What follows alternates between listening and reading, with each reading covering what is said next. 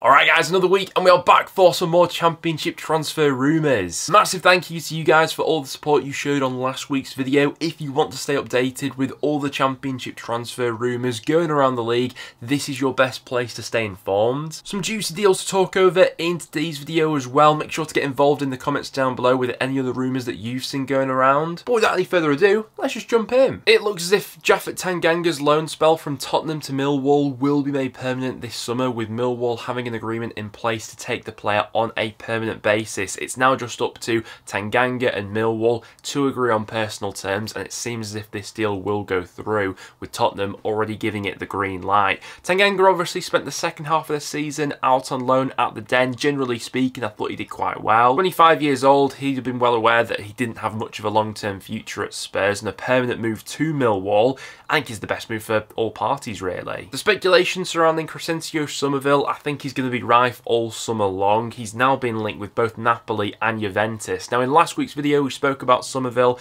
and some of the links that he's already had to Premier League clubs with Liverpool reportedly among the sides who are interested in the Leeds United winger. It now appears as if he's got quite a bit of interest coming in from the rest of Europe as well. 19 goals and 9 assists this season for the Dutch winger. In many ways I think he probably has been the outstanding player in the Championship, and especially if Leeds aren't promoted via the playoffs, there's no doubt that Summerville will be off this summer. To where, though, very much depends on who coughs up the most money. Ipswich Town are reportedly among the clubs interested in Millwall's Zian Flemming. Now, there was plenty of interest around Flemming last summer. Burnley among the clubs who were most interested in taking him. In the end, the deal didn't materialise, and Flemming had a little bit more of an inconsistent season. You'd maybe argue for Millwall this time around. His debut season in English football last season was absolutely fantastic. Scored 15 goals and got 3 assists. This time around, his numbers weren't quite up to that same level. Still decent though with 7 goals and 5 assists. But once again, I think Millwall are expecting a summer of plenty of interest in the Dutch attacking midfielder. Along with Ipswich, there are also a few sides from Spain who are reportedly keeping tabs on him. In that Ipswich side, I think someone like Flemming would be a decent fit as that sort of second striker slash number 10. He's 25 years old right now. Millwall, I think we're quite right to rebuff some of Burnley's offers last summer, but given the season he's just had for them, it'll be interesting to see what their current value is for Flemming and how much a side like Ipswich would need to cough up to get this sort of deal over the line. Kelechi Iheanacho is set to become a free agent in the following weeks. Everton are among the clubs who are interested in snapping up the Leicester City forward. You'd imagine a mid-table Premier League side is probably his most likely destination ahead of next season. There is currently a lot of interest in George Byers who is at the end of his contract with Sheffield Wednesday. The likes of Birmingham, Huddersfield, Rotherham, Barnsley and Blackpool where he was most recently out on loan, all said to be interested in the midfielder. In the case of Birmingham, Huddersfield and Rotherham especially, it'll be interesting to see what markets all of those sides are shopping in come the summer. Obviously the main target for each of those sides will be a instant return to the championship and Byers in League One I think would be a good option for all of those sides. No doubt his agent's going to be busy over these next few weeks. Josh Windass had a really strong end to the season for Sheffield Wednesday and he's now attracting plenty of interest from elsewhere. His deal at Hillsborough is set to expire at the end of the season.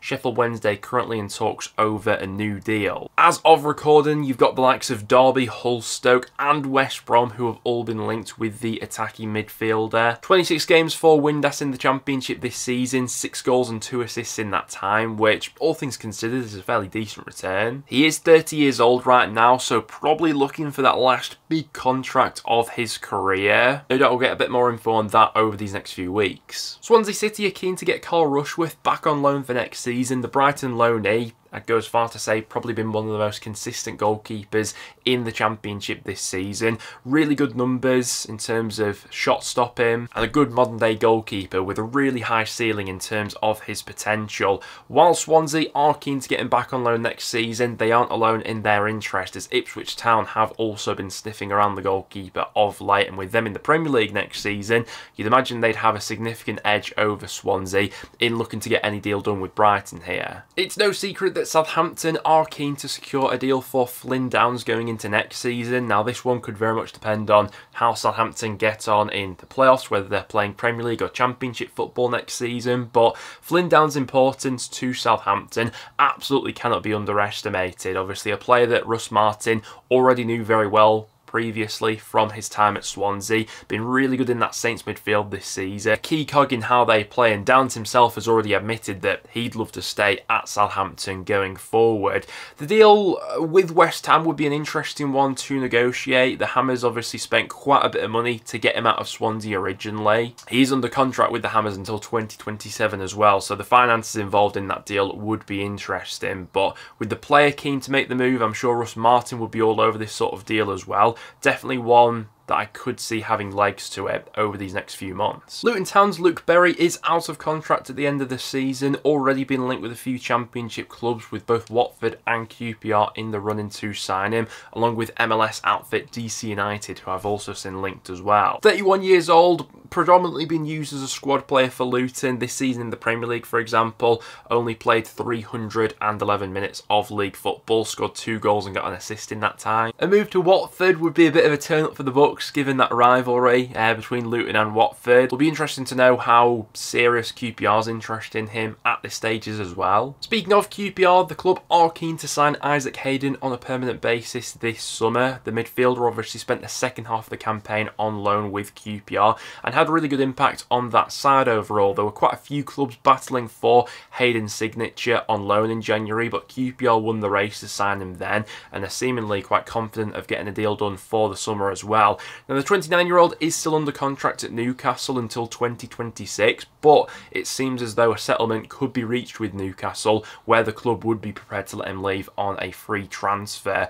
The thing with Hayden is clearly still good enough for the championship and I think would have a good impact on that QPR squad going forward. It's just that injury record over these last three or four years which does make for a little bit of worrying reading, especially if you consider wages and maybe length of contract that he might want to be offered. I think any club taking Hayden knows that it is a bit of a calculated risk because of that, but in terms of the player himself, I mean, he'd be a great addition at QPR if he stayed fully fit. Seeing plenty of speculation surrounding Preston captain Alan Browne at the moment. His future at North End isn't completely decided as of yet, but with his contract set to expire in the summer, the Irishman yet to put pen to paper over a new deal despite that being in the works for quite a while. And North End reportedly offering him the highest wage in the club's history. Most of the indicators do point towards Browne leaving this summer. If Browne was to leave whoever was to pick him up is getting a vastly experienced championship midfielder who's got over 400 appearances under his belt for North End. Coventry City the latest club I've seen linked but I'd imagine once Browne's contract does officially expire, there'll be plenty of other suitors that do come forward. The best way to describe Alan Browne is probably saying he's a sort of 6, 7 out of 10 in pretty much every attribute. Bit of a jack of all trades really, who can play as a holding midfielder, attacking midfielder, someone who can break up play, or someone who can get the end on the end of chances as well, or even be played as a right wing back, and has got those leadership qualities about him. You can see why he'd be a very desirable player for a lot of clubs this summer. Sunderland goalkeeper Anthony Patterson looks like a player who is going to be in high demand this summer, with Sheffield United the latest club to be linked to the young shot stopper. Now, Previously, we have spoken about Sheffield United and their interest in Rotherham's Viktor Johansson, while the Swedish goalkeeper still seems to be on the Blades' radar. It seems as though they've turned their main focus to Patterson for the time being. Current reports going around are that the Blades could look to table an offer of around about £8 million. We'll be interesting to see if that's enough for Sunderland to cash in on the goalkeeper, obviously. Previously, dating back to January and last summer, there has been Premier League interest in the goalkeeper, with Liverpool one the side's interest is. The goalkeeping department is somewhere that Sheffield United are looking to upgrade in the summer though and the move for Patterson would be an interesting one for sure. And Sunderland's Chris Rigg is also a player in high demand at the moment, currently being linked with the likes of Manchester United, Bayer Leverkusen and Borussia Dortmund. Now, this is, I guess, the template of Sunderland really. They got to such a young and youthful squad, clearly with a lot of players with high potential, pretty much meaning that every transfer window that rolls around, there's always bound to be a lot of interest in their players because they have so many